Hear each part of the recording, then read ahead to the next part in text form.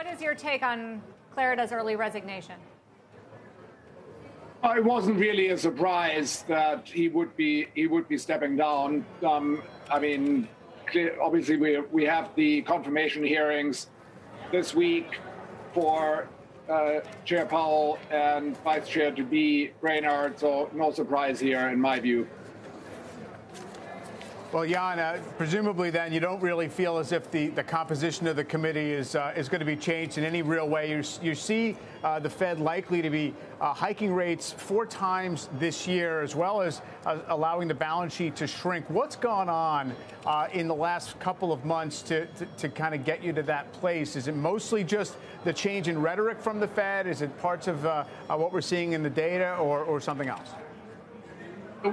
The data have been supportive of moving towards tightening, but what's changed more recently was that the minutes last week basically said they're more comfortable starting the balance sheet runoff earlier than we had expected.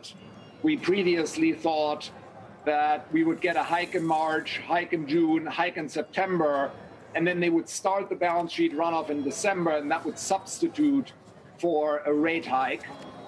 Now it seems like that's going to happen earlier. We think July is probably the start of the balance sheet runoff. And in July, I don't think it's that good a forecast to expect it to substitute for, for a hike because inflation is still going to be quite high.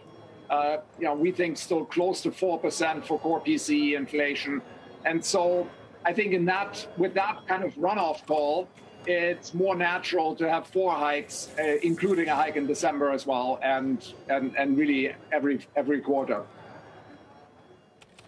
Well, Jan, Jamie Dimon, CEO of JP Morgan, agrees with you. He was on CNBC earlier today during an interview. Here's what he said about how many times the Fed will raise rates. A lot of people project inflation to be 2.3% at the end of this year. I don't. I think it's going to be higher. But you know, if we're lucky, the Fed will slow things down, and we'll have what they call a soft landing. You know, and it's going to be a little bit like threading a needle. So you can't look at anything and say that's my projection because you really don't know. It's possible that inflation is worse than they think. They have to raise rates more than people think.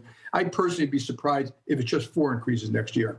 I, you know, I, I think that four increases 25 basis points is a very, very little amount and very easy for the economy to absorb.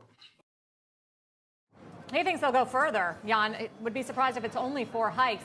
What are the chances that the Fed can engineer a soft landing? That is, keep the economic recovery going while raising interest rates several times this year.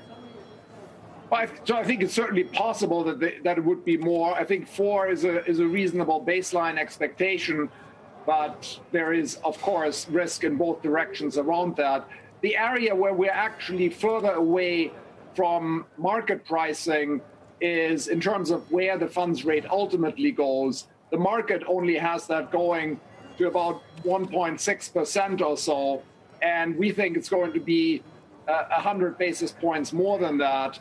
The market is priced for a very low ultimate terminal funds rate. And, you know, we, th- we think too low. So that's where the surprises relative to, to current market pricing are going to be larger in our view.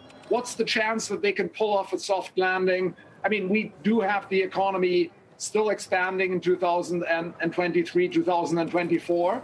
So it's a soft landing in that sense.